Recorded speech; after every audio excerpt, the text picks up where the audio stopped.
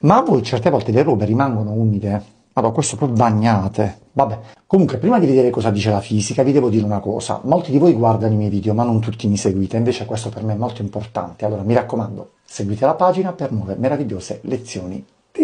Quando un indumento è bagnato, per asciugarsi assorbe energia termica per rompere i legami molecolari dell'acqua e trasformarla in vapore acqueo, energia fornita dall'aria calda circostante o dalla luce solare. Allora anche in casa possiamo farle asciugare purché la stanza sia calda ma non umida.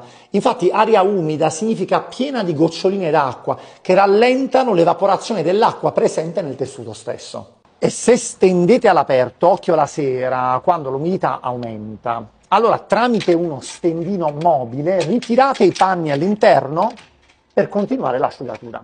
Altro consiglio, se fuori è ventoso o se avete un punto della casa in cui c'è corrente d'aria, ancora meglio, perché grazie al vento le molecole d'acqua che evaporano dal tessuto vengono allontanate più rapidamente, accelerando l'asciugatura. Consiglio bonus se lavate a mano, minore sarà la quantità di acqua presente nel tessuto, minore sarà il tempo necessario per l'asciugatura, per cui è utile, per eliminare più acqua possibile, fare comunque una passata in lavatrice solo per una centrifuga veloce prima di stendere.